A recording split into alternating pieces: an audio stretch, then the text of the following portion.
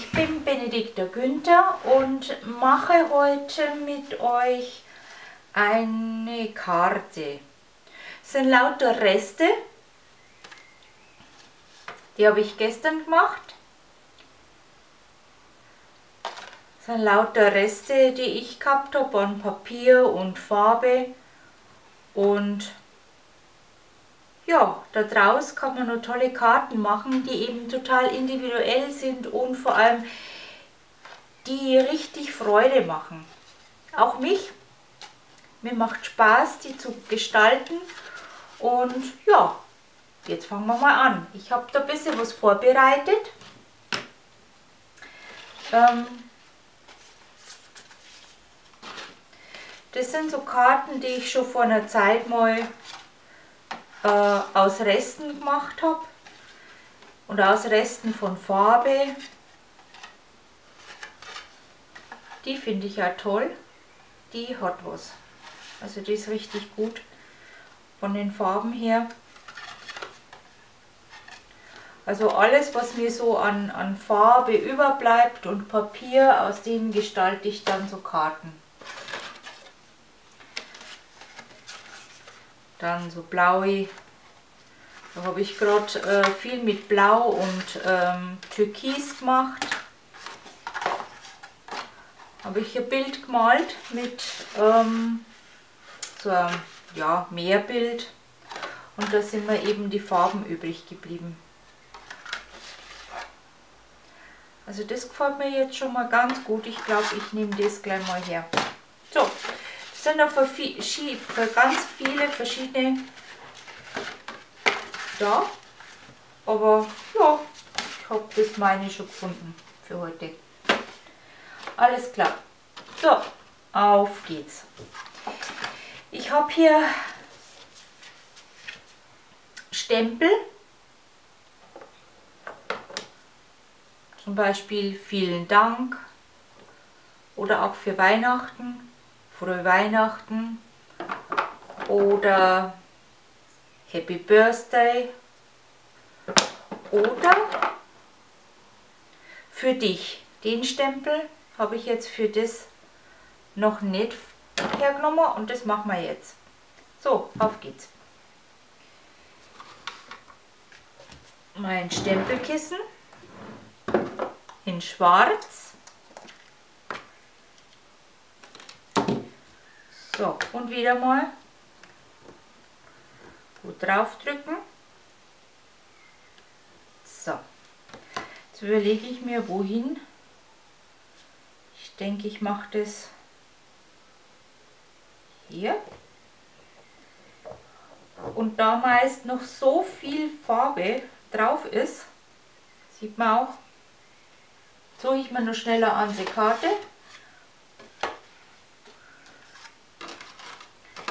Und stempel da nochmal drauf.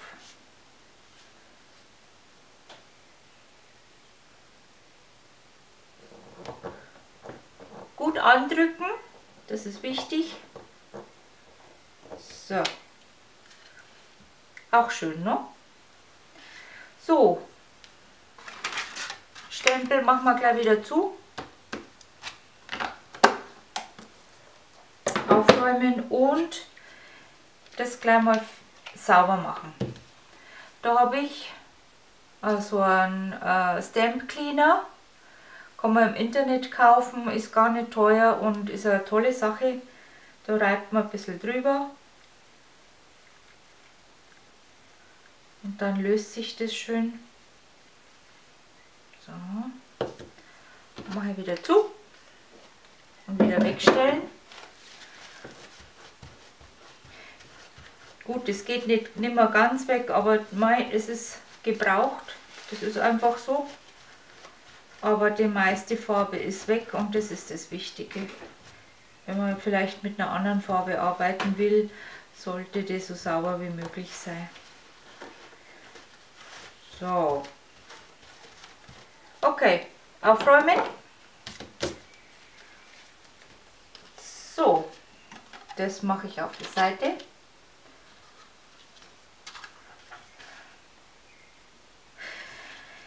Jetzt habe ich verschiedene Reste So, Reste Kiste. Da habe ich alles Mögliche schon äh, rausgeschnitten, rausgedrückt äh, und, und ähm, ja, anderweitig verarbeitet. Aber auch das kann man noch gut gebrauchen. Schaut toll aus, ne? Wie Schweizer Käse. Oder so. Ist irgendwie toll. Auch zu der Farbe. Mal schauen. Da ist so viel da. Das gefällt mir schon mal ganz gut. Das gefällt mir von den Farben her sehr. Es harmoniert. Da habe ich mal was ausprobiert. Nee, das ist zu grell.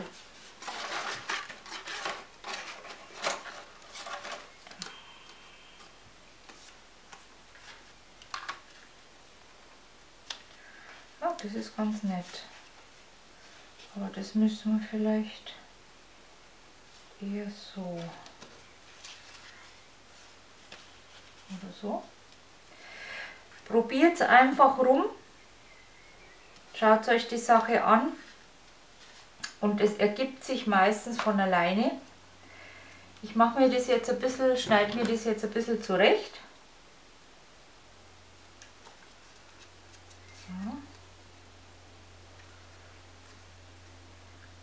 Habe ich anscheinend was runtergerissen. Das mache ich mir da auch noch so ein bisschen schöner. So.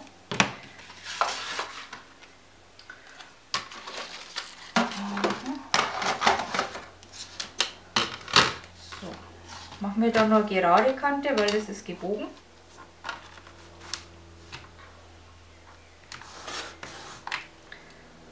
Solche Sachen hebe ich mir auch auf, so Reste. Da kann man auch noch was draus machen.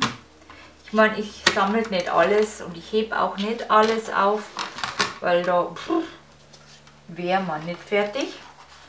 Aber so manche Sachen sind es einfach wert.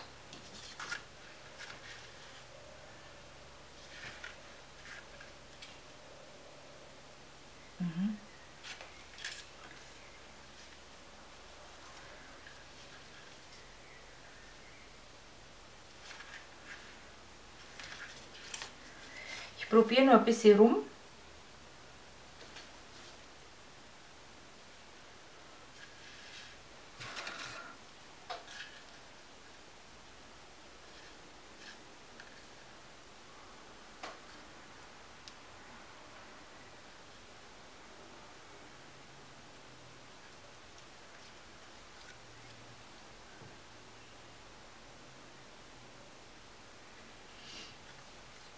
bin mir noch nicht ganz schlüssig, wie ich das mache. Ich hole mir noch ein bisschen was dazu. Das ist auch toll. Passt hier jetzt nicht unbedingt, aber das ist auch eine ganz tolle ähm, Sache. Da habe ich einfach nur ähm, die Farbe, die runter auf dem, äh, habe ich so Plastik gehabt. Da ist die Farbe drauf gewesen und habe einfach nur drauf und hochgezogen und durch das gibt es dann hier so die ganzen ähm, Verzierungen letztendlich. Mal gucken, ob ich noch was anderes habe, das vielleicht noch besser passen könnte. Man muss nicht immer gleich das Erstbeste nehmen. Probiert es ruhig rum.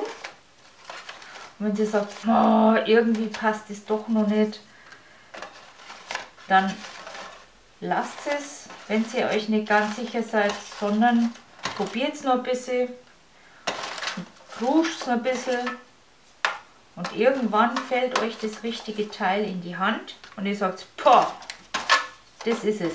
Genauso will ich haben, will ich sagen. Ich habe jetzt zum Beispiel das Teil, ist auch sehr schön. Oh, nett.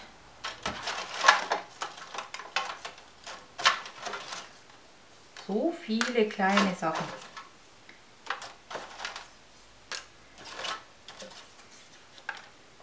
Aha, ein Schmetterling, ist auch schön.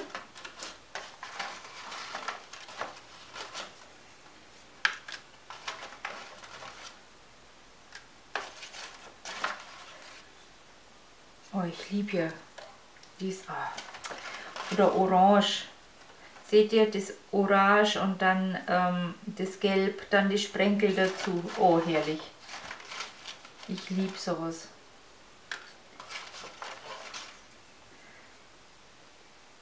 Aha, das hat sich jetzt so ergeben, auch nicht. So, schauen wir mal da noch ein bisschen.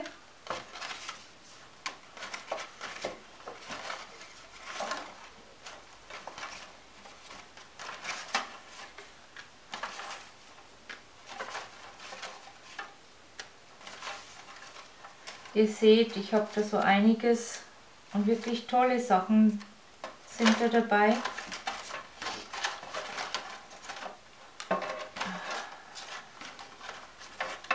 Schauen wir mal, was jetzt denn wirklich passt. So. Aus dem, glaube ich, lässt sich jetzt schon eine ganze Menge machen. Das finde ich auch toll. Kritzel, Kritzel.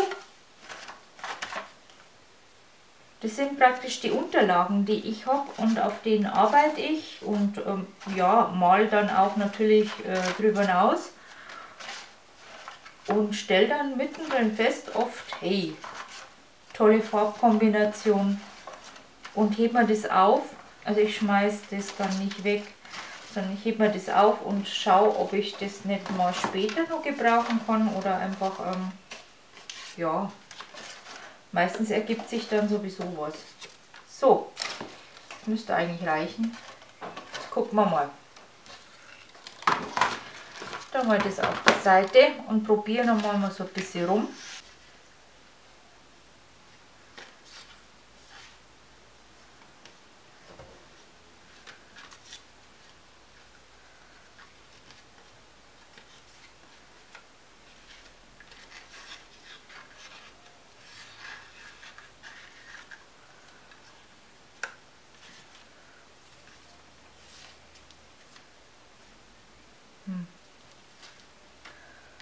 fast zu viel.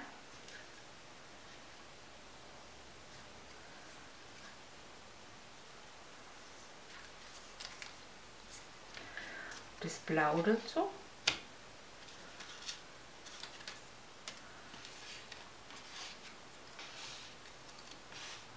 Das Blau gefällt mir ganz gut.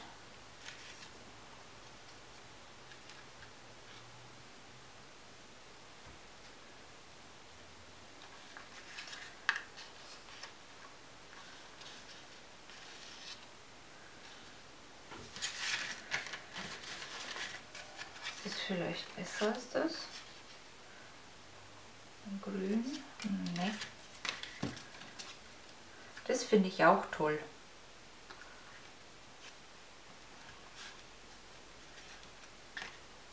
Hm. Hm, hm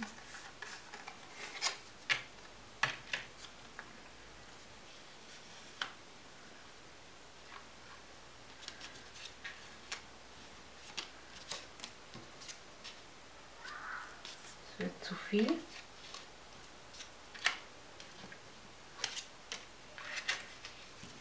So Ton in Ton gefällt es mir schon ganz gut. Also da muss ich schauen. Hier und da oder da und hier. Hm, immer noch nicht so, dass ich so, das ist es. Das passt noch nicht.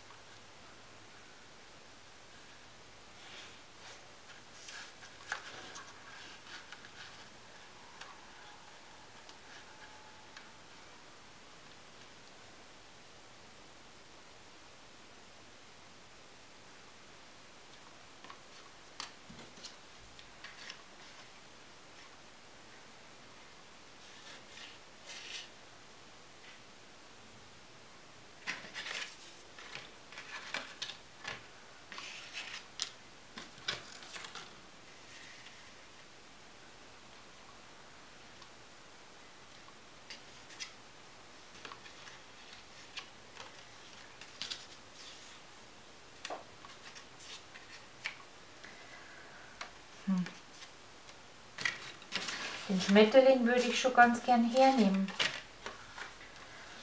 Aber passt nicht.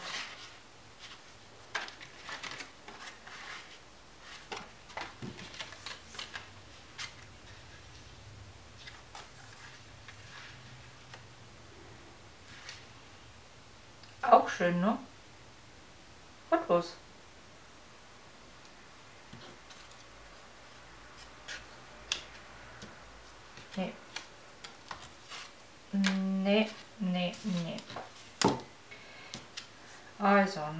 nochmal von vorn. Es ist einfach ein Puzzlespiel. Man probiert so lange aus, bis es passt.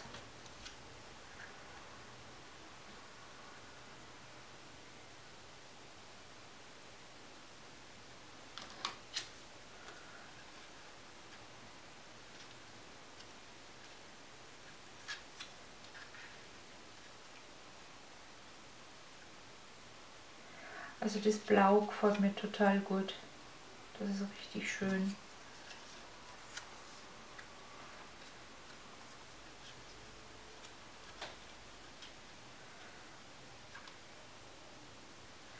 Wenn ich das mal gerade schneide, schauen wir mal,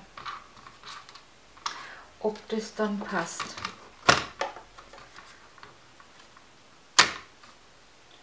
Gucken wir mal. Ob ich es einigermaßen gerade gemacht habe. Oh nein, gar nicht auch. Kann passieren. Sollte das vielleicht mal anders hinlegen.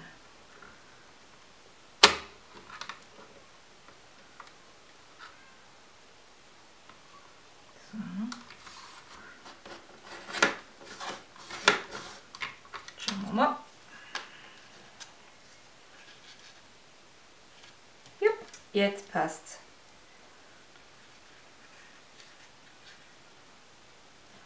Okay, ich glaube, ich mache das so. Ich möchte einfach den Schmetterling da drauf haben, auf Biegen und Brechen. Schauen wir mal, ob das da oben besser ist.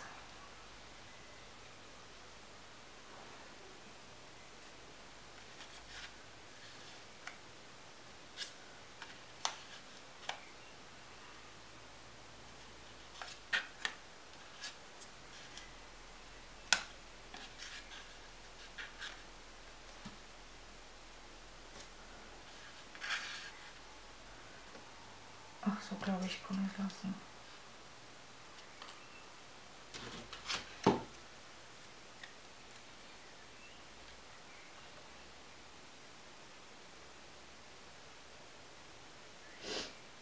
Okay, so machen wir es. Das bedeutet jetzt Kleber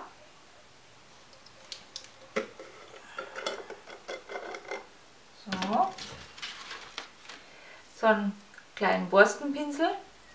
Oh, den habe ich anscheinend gestern nicht richtig sauber gemacht. Das ist nicht gut, aber der gibt schon auch. So.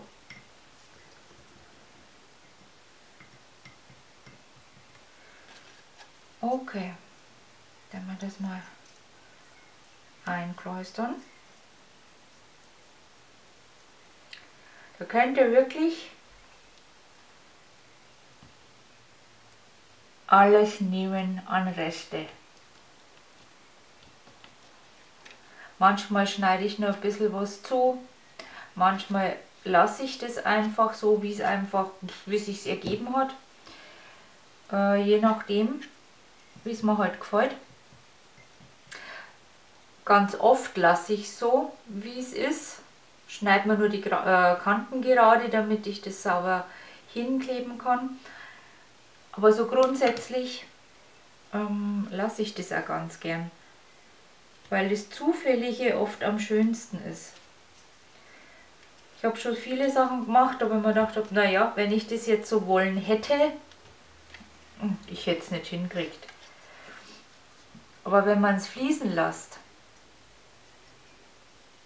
dann erzielt man die schönsten Ergebnisse. nichts erzwingen, einfach machen. Ich habe da lange gebraucht, um das ähm, zu können. Ich habe immer gemeint, no, alles muss perfekt sein, 100 und 1000 prozentig. Das funktioniert nicht. Oder eher, das ist eher schwierig. Und vor allem, es ist anstrengend. Ich habe es als anstrengend empfunden. Und anstrengend soll das nicht sein. Das wäre genau das Verkehrte. Es muss Spaß machen, es muss Freude machen. Und wisst ihr was?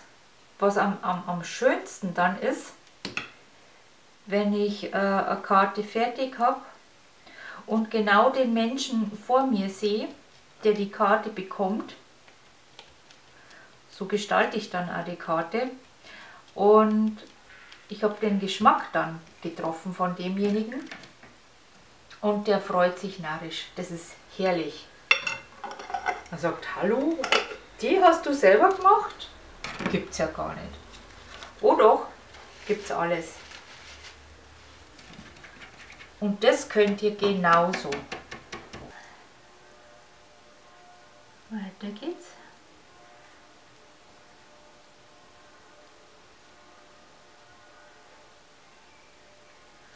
So, aber jetzt.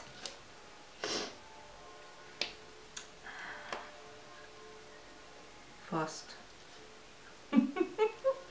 ich weiß schon, irgendwann, ich wenn mal anfangen, dann, ähm, ja, da noch ein bisschen was und dort noch ein bisschen was und da noch ein bisschen was und vielleicht hier noch. Ähm, ja, aber das wird euch wahrscheinlich irgendwann genauso gehen, dass man einfach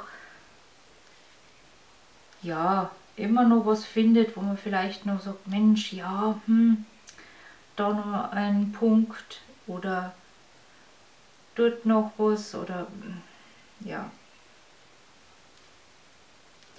Es wird euch genauso gehen.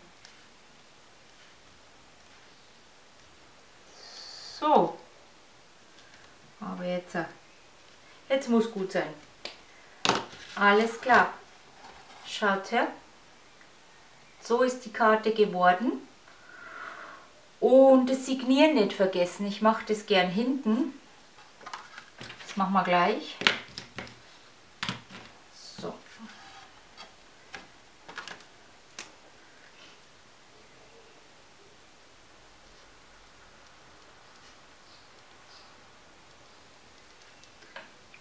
Okay.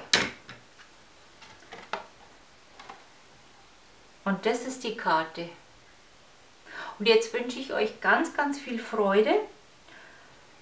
Versucht's, probiert's aus, macht's. Es kann nichts schief gehen. Viel Spaß damit. Alles klar. Also dann, tschüss.